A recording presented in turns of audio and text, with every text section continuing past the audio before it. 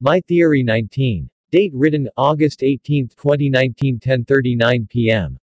by Oliver C. Colobong. Life means living in a free environment. Any existing life on the planet is free to live on a free environment.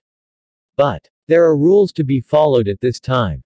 Our ancestors are free to live by themselves in the past, but the problem is there is no guarantee of security.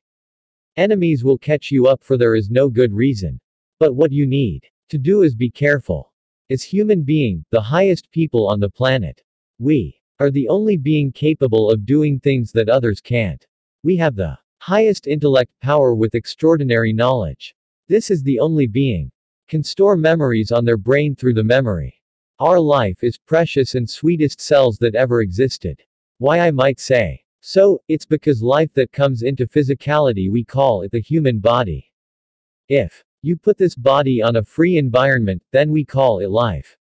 But if you put this body on a box, limited space and sometimes you imprisoned, and then we call it tortured. Life should be in a free environment, in order to create new things we must not give limitations on their own especially ourselves.